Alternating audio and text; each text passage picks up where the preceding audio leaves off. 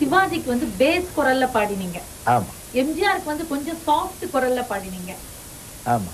இப்ப ஒரு பாட்டு எடுத்துட்டு அதை சிவாஜி எம்ஜிஆருக்கு எப்படி பாடுவீங்கன்னு பாடி காமிக்க முடியுமா சார்? ஒரே ஒரு பாட்டு எடுத்துட்டு அந்த பாட்டு சிவாஜிக்கு எப்படி பாடுவீங்க அது எம்ஜிஆருக்கு எப்படி பாடுவீங்க? ஒரு ஒரு பாட்டு நான் ஆணையிட்டான்னுட்டு ஆறு கட்ட சுத்தியில பாடுறோம்.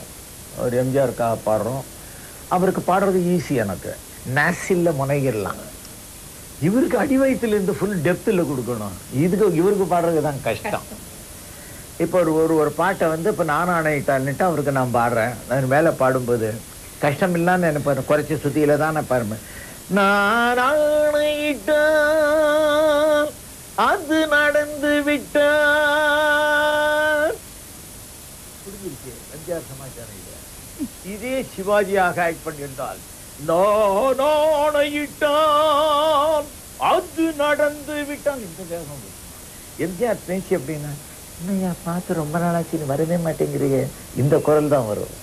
இவரு சிவாஜி என்ன இன்னப்பா உன்னை பார்த்து ரொம்ப நாள் ஆச்சு நீ வரவே இல்லையா. இதே அனுசரிச்சு இதை. இந்த மத்தியில பாருங்க இவங்க Jaishankar Nagesh.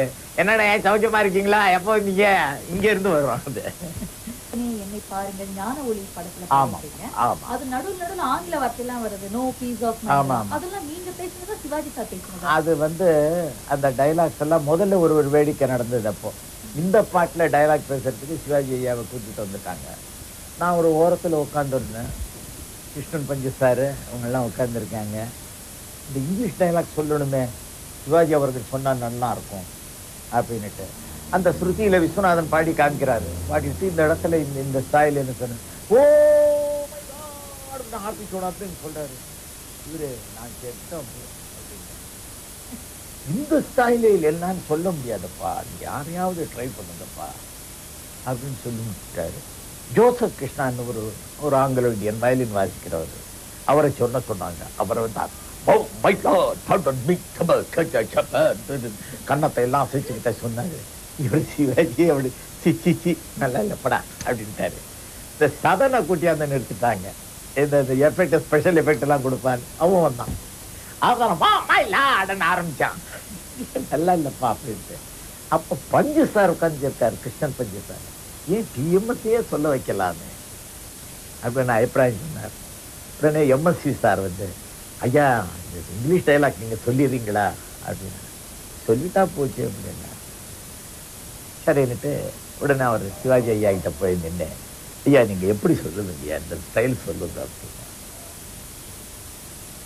Oh my Lord பாடம் நீ உங்கள் மந்தையில் இருந்து இரண்டு ஆடுகள் வேறு வேறு பாதையில் போய்விட்டன. இரண்டும் சந்தித்த போது பேச முடியவில்லையே. இந்த ஐயா ஸ்டைலு அப்படின்னு. சரி அந்த ஸ்டைல நான் சொல்றேன் கேளுங்க. அப்படின்னு டேக்குக்கு அங்கே போய் நின்னுட்டேன். மைக்கு முன்னால போய் நின்றுட்டேன் நல்ல ஒரு எக்கோ கொடுங்க சார் எனக்கு காதில் ஹெட்ஃபோன் போட்டுக்கிட்டு எக்கோ அந்த பாட்டை நான் மனசுலயே நினைக்கிறேன். அந்த பாட்டை பத்தி நினைச்சு பார்த்து தேவனே என்னை பாருங்கள். இதெல்லாம் பாடிக்கிட்டு அந்த அந்த ஸ்டைல போய் நிக்கிறேன். ஓ மை லார்ட் பாடலி உங்கள் மந்தையிலிருந்து இரண்டு ஆடுகள் வேறு வேறு பாதையில் போய்விட்டன.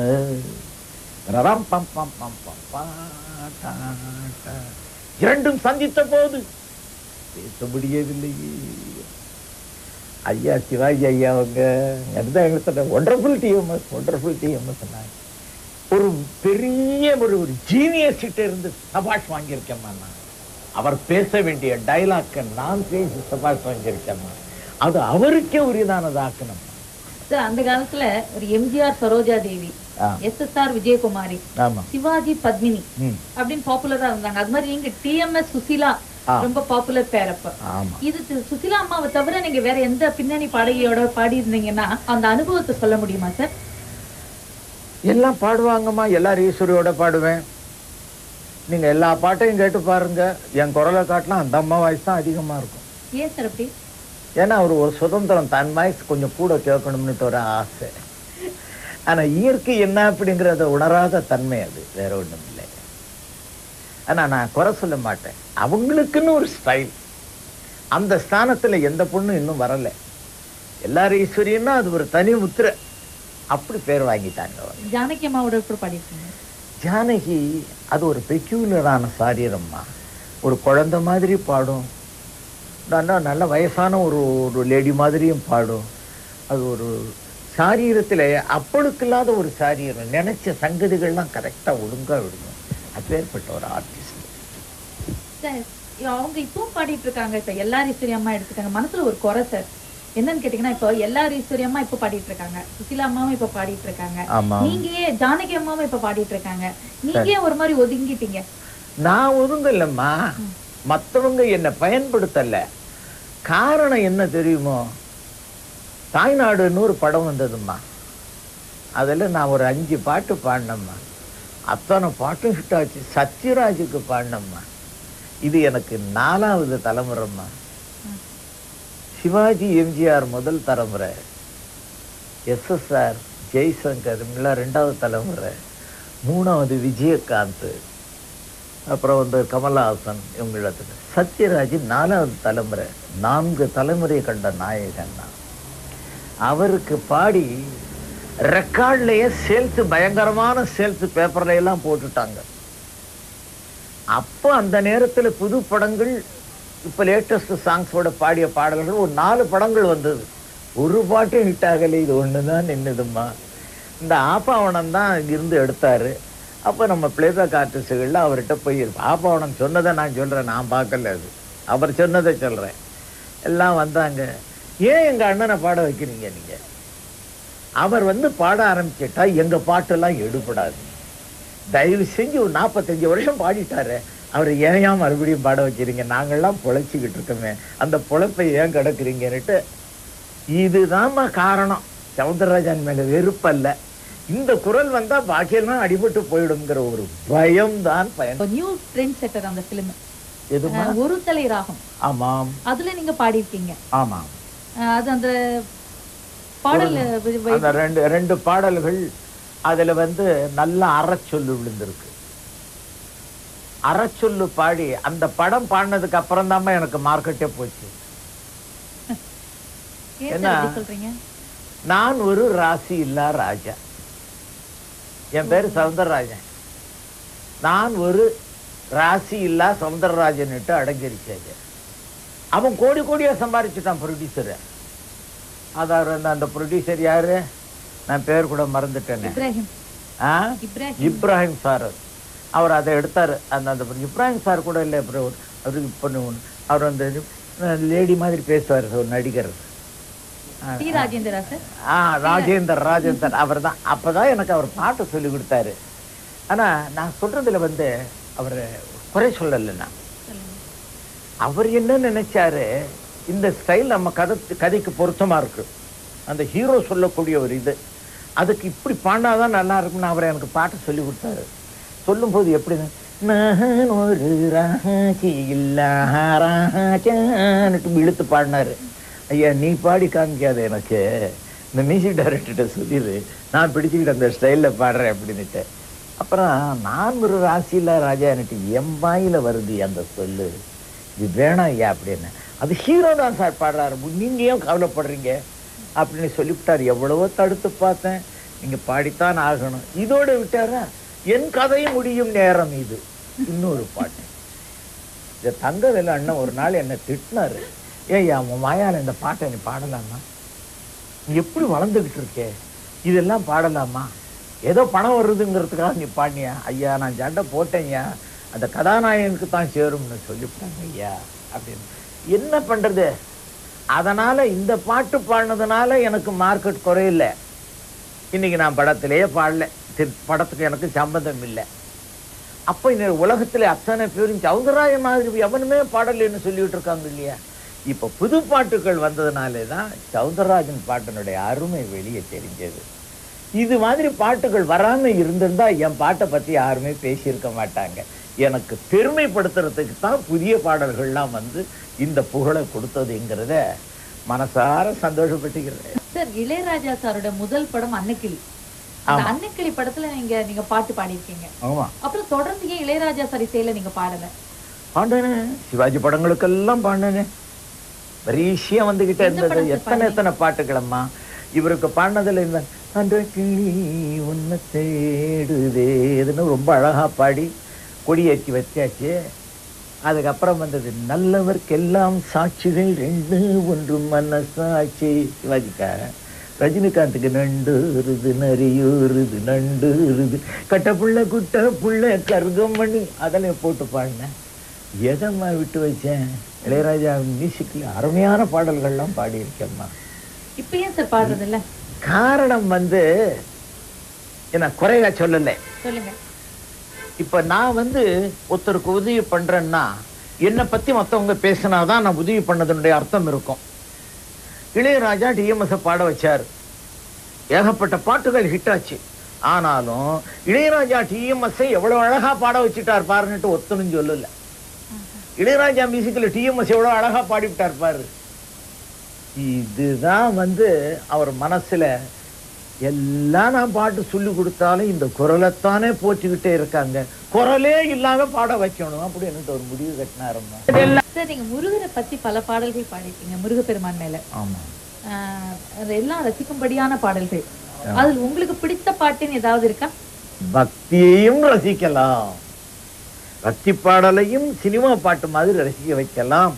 அப்படிங்கிற முறைக்கு மாத்தன பெருமை ஒரு டிஎம்எஸ்க்கு தான் சாரும் அது ஈகோவா சொல்லல. பகவான் என் உள்ளத்துல புகுந்து இப்படி பாட வச்சேன் இந்த பாடல்களுக்குள்ள இசையமைத்ததும் நீங்க தானே பக்தி பாடல்கள்ல அநேகமா மோஸ்ட் ஆஃப் த சாங்ஸ் நான் தான் இசையமைச்சது முத்தை தருபத்தி திருநகை அது டிஆர் லைன் எங்களுக்கு பாடியே தீரணும் நீங்க. அந்த பாடல் வந்து அர்த்தம் தெரிஞ்சுக்கிட்டு பாடினாதான் அந்த தமிழ் பாட முடியும். ஏன்னா ரொம்ப பேர் சார் சார் அந்த தத்தை திரு சார் பாடுங்க சார் அப்படின்னு சொல்லுவாங்க. ஏதோ அதை காதல கேட்டுட்டாங்களே முத்தை தருன்னு சொல்ல தெரியல. சார் அந்த தத்தை திரு பாட்டு பாடுங்க சார் அப்படின்னுட்டு. சரிப்பா அப்படின்னு முத்தை தரு பத்தி திருநகை அத்தி கிரை சத்தி சரவண முத்தி குரு வித்து குருவரை என ஓடும் முத்தை தருபத்தி திருநகை அத்தி கிரை சத்தி சரவண முத்தி குருவித்து குருவரை என ஓதும் முத்தை தருபத்தி திருநகை அத்தி கிரை சத்தி சரவண முத்தி குருவித்து குருவரை என ஓதும் முக்கள் பரமர்க்கு சுருதியின் முற்பட்டது கற்பித்திருவரு முப்பத்து முவர்க்க தமரரும் அடிப்பேண பத்து தனை தத்த கணை தொடு ஒற்றை கிரி மத்தை பொருதொரு பட்ட பகல் மட்ட திகிரியில் இரவாக பத்தர் கிரதத்தை கடனிய பச்சை புயல் மெச்ச தகுபொரு பட்சத்தொடு ரட்சி தருவதும் ஒரு நாளே. தித்தித்தைய ஒத்த பரிபுற பரிபுர நிறுத்தப்பதம் வைத்து பைர விதிக்க கனடிக்க கழுகொடு கழுதாடு திக்கு பரி அட்டு பைரவர் தொக்க தொகு தொக்கு தொகு தொகு சித்திர பகுதிக்கு திரிகடக என போது கொத்து பறை கொட்ட களமிசை குக்கு குகு குக்கு குகு குத்தி புதை புக்கு பிடியன முதுகூகை கொட்புச்சட நட்பற்ற முனரை வெட்டி பலியிட்டு குலகிரி குத்து படமுத்து பொறமல பெருமாளே. இந்த பாட்டு வந்து அருணகிரிநாதர்ன்ற படத்துல வந்தது இந்த படத்துல நீங்களே நடிச்சிருக்கீங்க ஆமாம் நான் தான் அருணகிரிநாதர் மட்டும் இல்ல பட்டினத்தார் அப்புறம் வந்து கல்லும் கனியாகும். கல்லும் கனியாகும் கவிராஜ காலநேகம் இது நாலு படங்கள்ல கதாநாயகனாக நடிச்சிருக்கீங்க அப்புறம் ஏன் தொடர்ந்து நடிக்கல சார் நீங்க? தொடர்ந்து என்ன கூப்பிட்டாங்க தொடர்ந்து நடிச்சேன் அப்புறம் கூப்பிடல. சொந்தமா கல்லும் கனியாகும்னு ஒரு படம் எடுத்தேன். நான் ஒன்று நினைச்சேன். கூட சேர்ந்த பார்ட்னர் ஒன்று நினைச்சாரு. அவர் கதாநாயகன் ஆகணும்னுட்டு ஆசைப்பட்டுட்டாரு என் கையில கத்தியை கொடுத்துட்டாரு. மக்கள் எல்லாம் சௌந்தரராஜனை வந்து நல்ல டுவெட் பாட்டுகள்லாம் பாடி ரொம்ப நல்லா நடிப்பார்னு எதிர்பார்த்தாங்க. என்னை வில்லன் போஸ்ட் கொடுத்துட்டாரு. என்ன மூணு பாட்டு பாட வச்சுட்டு கூட சேர்ந்தவர் அவரும் மூணு பாட்டு பாடி விட்டாரு. என்கிட்ட கதை சொன்னது ஒண்ணு எடுத்தது ஒன்றா போச்சு. அதுக்கு தான் அப்போ இருந்து என்னுடைய ஆழ்ந்த அனுபவம். எனக்கு மட்டுமில்ல எல்லாருக்கும் சொல்லுவேன். கூட்டு தயாரிப்பில் போகாதீங்க. நீங்களே கஷ்டப்பட்டு ஒரு தொழிலை செய்யுங்க. அதுல நஷ்டம் வந்தாலும் என்னுடைய மதியனத்தினால நஷ்டம் வந்தது ஐ டோன்ட் கேர் அப்படின்னு நினைக்கலாம். கூட்டாளிய சேர்த்துக்கிட்டா உங்க தலையில கையை வச்சுட்டு அவன் பெரிய ஆளாயிடுவான் அதனால கூட்டு தயாரிப்புக்கு போகாதீங்க ஜாயிண்ட் கையெழுத்து போடாதீங்க. சாக போகணும்னாலும் தனியா போய் சாவுங்க கூட இன்னொரு ஆளை கொண்டு போகாதீங்க. சாக முடியாது. என்ற படத்துல இந்த சின்னஞ்சிறிய வண்ணப்பறவை எண்ணத்தை சொல்லுதம்மான்னு ஒரு சாங் ரொம்ப நல்ல சாங் சார் அது. அந்த பாட்டு வந்து முதல்ல சீர்காழி கோவிந்தராஜன் சார் பாடினாரு. அதுக்கப்புறம் அது இல்லாம உங்களை வந்து பாட சொன்னாங்க. அந்த குரல் வேண்டாம்னு சொல்லிட்டு உங்களை பாட சொன்னாங்க. அது ஏன் சார் அப்படி? அப்புறம் அதுமா ஒரு போட்டி பாடுற பாட்டு அது. இந்த போட்டியில ஒரு ஆணுக்கும் பெண்ணுக்கும் ஒரு போட்டி வருது. அந்த போட்டியில இவர் பாடுற மாதிரி அந்த பொண்ணு பாட முடியக்கூடாது அப்படிங்கிற ஒரு சுச்சுவேஷன் இதில் பிரபல இந்துஸ்தானி பாடகர் படே குலாம் அலி கான் மாதிரி பாடணும்னுட்டு நாங்கள் போய் புகழேந்தி சார் கேவி மகாதேவன் அவர்களோட அசிஸ்டண்ட்டு ஆனால் அந்த பிற்காலெலாம் நிறைய போட்டு பாடணும் அப்படின்ட்டு அவரை ஸ்லைட்டாக ஹார்மோனியத்துலலாம் ஸ்பீடாக ஹார்மோனியத்தில் அவங்களுக்கு ஸ்பீடாக வரும் குரலில் வராது. ஹார்மோனியத்தில் காமிச்சாங்க பிற்காவை போட்டு.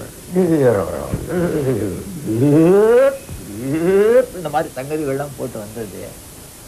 நான் கேட்டுக்கிட்டே இருந்தேன். உடனே அவர்கிட்ட கேவி கேவியம் வாங்கிட்டுறேன் மாமா என் சாரியனம் பிற்கா சாரியும் இல்லை. நல்லா கார்வை கொடுத்து பாடுவேன்.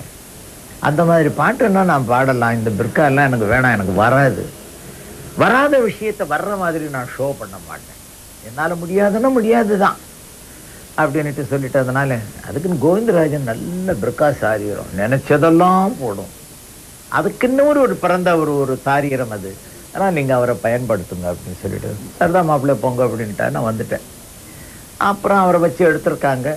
கரெக்டாக அவங்க நினச்ச மாதிரியே அப்படி பாடிவிட்டார். சும்மா சொல்லக்கூடாது. கார்வை கொடுத்து பாடுறதுல கோவிந்தராஜனுக்கு நிகர் அவர்தான். அவர் மாதிரி ஒரு ஒரு சங்கீதத்தில் இந்த நுணுக்கமான பிடிகள்லாம் இப்படி பாடுறதுன்னா ரொம்ப கஷ்டம். அது ராஜரத்னம் ராஜரத்னம் பிள்ளை நாதஸ்வரத்தில் வாசிப்பார் பாருங்க. அது மாதிரி இவர் சாரியத்தில் விடணும். அப்பேற்பட்ட ஒரு திறமைசாலி. ரெண்டே ரெண்டு ராஜன்கள் அழுத்தம் திருத்தமாக பாடியவங்க தமிழ்நாட்டுல. ஒரு சவுந்தரராஜன் ஒரு கோவிந்தராஜன். அதுதான் நிஜம். அது மாதிரி வந்து பாட வச்சுட்டாங்க. உடனே திருவாளர் சிவாஜி அவர்கள் வந்து கேட்டிருக்காங்க.